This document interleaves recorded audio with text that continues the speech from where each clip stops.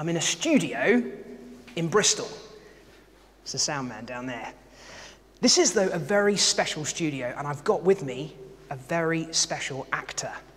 This is Sasha. He's a tawny eagle that's found in Africa or Asia. Um, to be honest, if we tried to get a white-tailed eagle in here, I think it would probably have savaged all of us, and it might have been a bit too big. But he is absolutely perfect.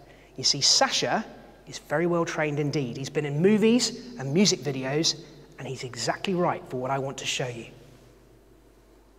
So, how am I going to use a film star bird and a television studio to show you how eagles fly?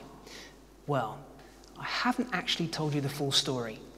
This here is a wind tunnel. And any second now, someone's going to press a green button and wind is going to start racing through here at about 20 to 25 miles an hour. And Sasha here is going to show us what eagles do best. Okay, Mike, let her rip.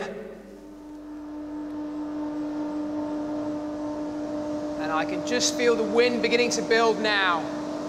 And the first thing that Sasha does is go from sitting vertically on my fist to her body going horizontal and the wings spreading.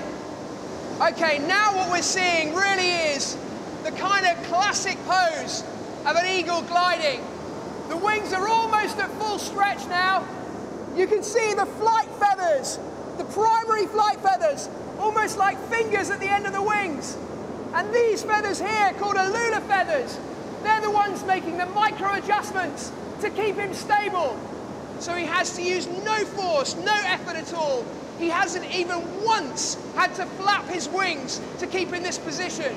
And now, even though I've still got a hold of him, he's totally weightless. Right, let's see him in action. Whether it's gliding, accelerating, or swooping to snatch those fish from the water, those wings do it all.